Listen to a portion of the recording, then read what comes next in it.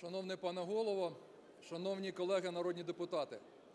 Розпочавши новий сезон, розпочавши розгляд важливих для країни законопроектів, ми не зробили однієї самої важливої з моральної точки зору дії.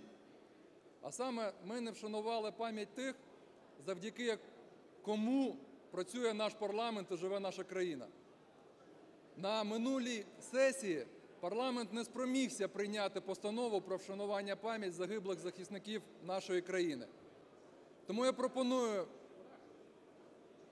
всьому парламенту зараз хвилиною мовчання вшанувати пам'ять загиблих захисників нашої країни і віддати належну повагу і честь всім тим, завдяки кому наш парламент продовжує працювати, наша країна продовжує жити, мріяти і планувати своє майбутнє.